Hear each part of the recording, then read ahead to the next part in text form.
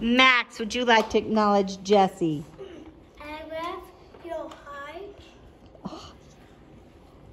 and you why you pray to me. And happy birthday, Jesse. Oh, Max, thank you. That's wonderful. Thank you, Max.